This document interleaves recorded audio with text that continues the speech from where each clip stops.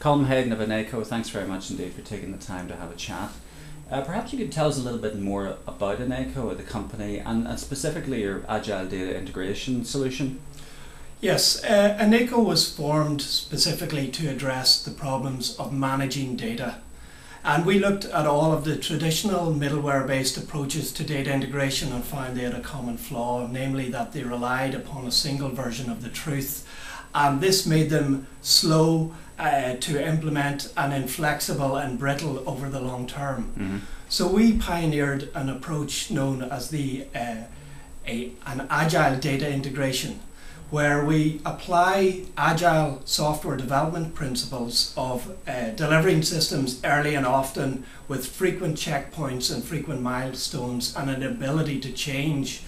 And we apply that to data integration where we use a short, timely methodology, and underpinning that is our Anaeko Data Agility Server, uh, a technology platform that we've developed to provide a real-time unified access to underlying data sources. Yeah, and so presumably this means that it's particularly applicable to the development of sort of distributed enterprise applications. Absolutely, it it enables heterogeneous data stores to be combined quickly and easily uh, to take uh, different views and different perspectives onto that data and to enable applications such as real-time business intelligence, uh, customer internets, uh, or any other application that needs a consolidated view of that.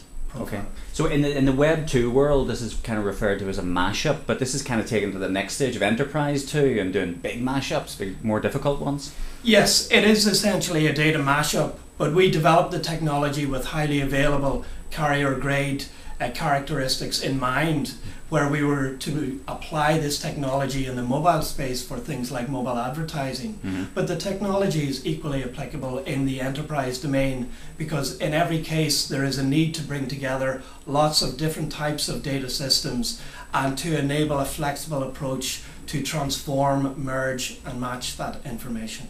I presume, therefore, that you know, one of the themes on, on this side is the whole idea of open in, innovation. So I presume that, given that approach, it, it's relatively easy for you to, you know, em, embrace the, the, the, services provided by others and, and indeed other technology platforms. Yes, uh, we have been involved in Anaeko with a number of initiatives where we brought together lots of category leading software vendors into an end to end solution.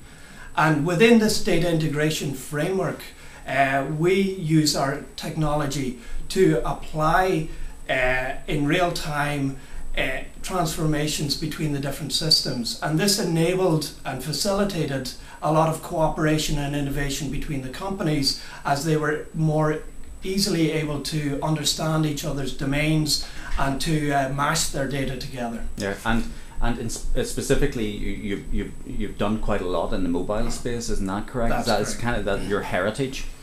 Yes, the, the company was founded with a, a pedigree and a track record of the mobile space, and we had intended initially to focus our technology on delivering a single view of subscriber or a single view of uh, of the business for mobile operators to enable things like mobile advertising and personalized services.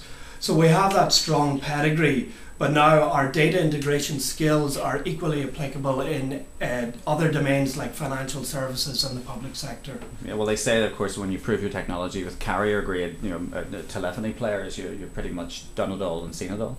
Uh, that's correct. That's correct. So we looked to take the nice uh, enterprise technologies and web friendly uh, interfaces and use them in a highly available carrier grade environment. Okay. Colm Hayden, thanks very much indeed. Thank you.